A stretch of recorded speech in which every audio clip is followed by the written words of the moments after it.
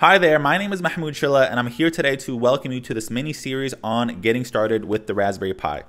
I'm a technology enthusiast, maker, educator, and consultant with years of experience in IoT, software engineering, automation, and Raspberry Pi projects where I specialize in educating on the Raspberry Pi on YouTube.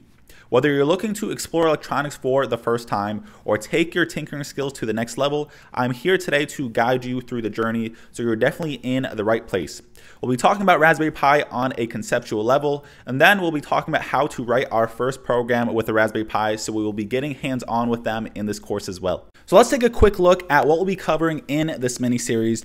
We've structured it to be beginner-friendly, hands-on, and practical, so by the end of it, you will have a solid foundation to start building your own Raspberry Pi projects. First, we'll talk about an introduction to Raspberry Pi. We'll start by answering the big questions What is a Raspberry Pi? What can you use it for? And why it's such an incredible tool for learning and creating. Next, we'll be setting up your Raspberry Pi, so I'll guide you through the essentials to get it up and running from installing the operating system to enabling remote access so you can control it without a monitor. Next, blinking and LED, so here's where the fun begins. We'll dive into the GPIO pins and learn how to control them with Python by making an LED blink, your first hands-on project. Then building a weather station. So we'll use a real sensor to create a simple weather station. You'll learn how to collect and display data, making it a practical, exciting step forward. Finally, we'll wrap things up with a recap of everything we've learned and talked about, and that will be all.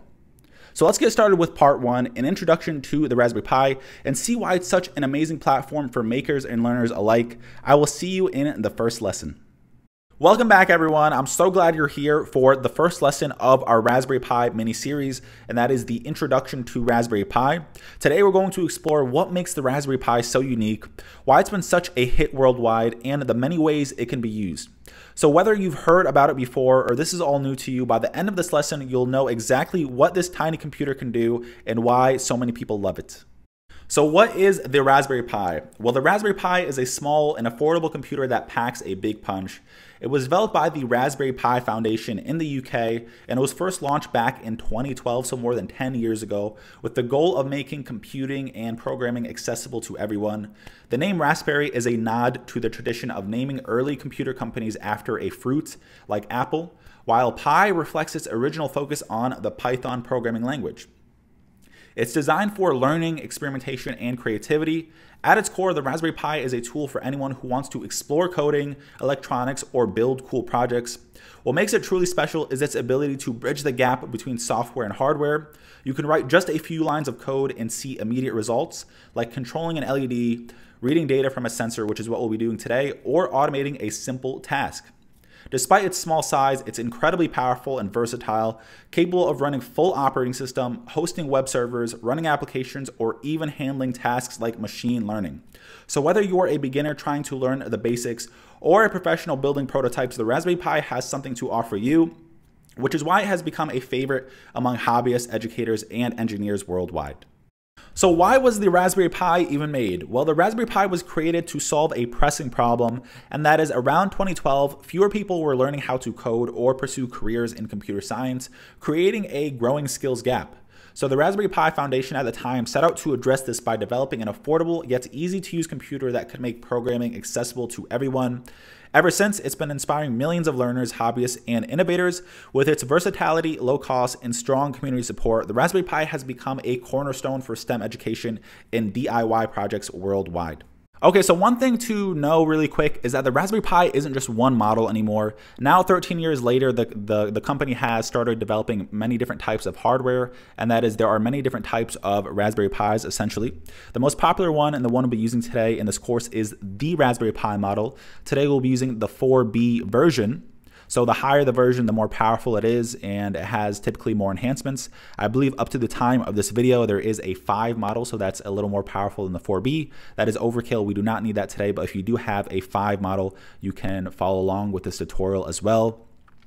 Now, the Raspberry Pi 4B is more than powerful enough to, to do the projects we are going to go over today. Perfect for coding, sensors, and even downloading applications and even machine learning as well. You could do machine learning with the 4B if you're interested in that. There's also the Raspberry Pi Zero model. So this is a very popular one on the left. This is super small and affordable, great for portable and lightweight projects. And if you're into hardware programming or simply want something super lightweight, there's the Raspberry Pi Pico on the right. This is probably their new, their newest board, I believe, and they even have the Pico W board, which supports internet. It is a microcontroller designed board for embedded systems, really powerful for the cost, and you can even get these boards for less than $10 at a time. So that's pretty cool. So it just shows that this organization has really evolved so much in the past 13 years. But all in all, we will be using a regular Raspberry Pi, and that is the Raspberry Pi 4B model. But depending on what you want to do, there is probably a Raspberry Pi out there that fits your needs, whether it's you're running on a low budget or want something super high powered. There probably is a Raspberry Pi out there that can suit your application's needs.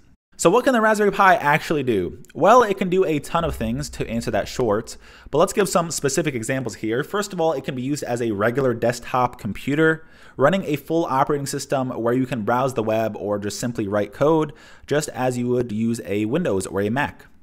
It's also great for controlling sensors and other electronics, making it perfect for IoT and automation projects. Do you love gaming? It can also be used to emulate retro games. You can even host a web server or turn it into a media center to stream your favorite movies. The possibilities are endless, and just a quick Google search will show you all the incredible ways this computer has been used across the span of time. So the Raspberry Pi isn't just for personal projects, it's being used across the world in many amazing ways for real life applications. People use it for home automation a lot of the times, like controlling lights in their house, cameras, and even thermostats. It's the backbone of many IoT devices out there, including weather stations, which is what we'll be building today, air quality monitors, and smart agriculture systems.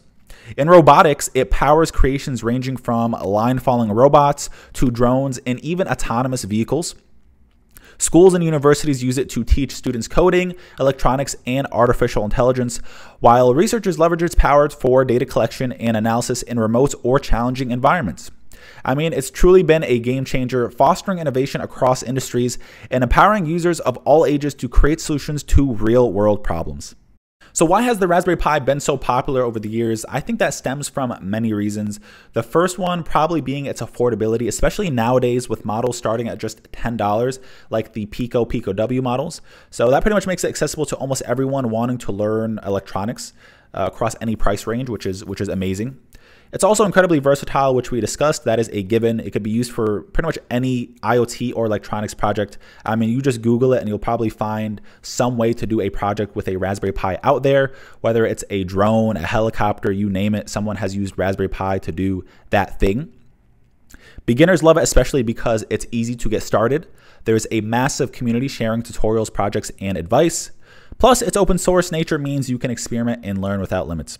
So, whether you're a student, a hobbyist, or a professional, the Raspberry Pi proves that powerful technology can be within everyone's reach. So that sums it up for the intro to Raspberry Pi. I hope you learned a lot, and now you understand why the Raspberry Pi was developed, the various models that exist, and why the Raspberry Pi itself has remained such a cornerstone in the IoT and electronics community for more than a decade since 2012. Now that we've covered what the Raspberry Pi is and why it's so incredible at a high level, it's time to get more hands-on.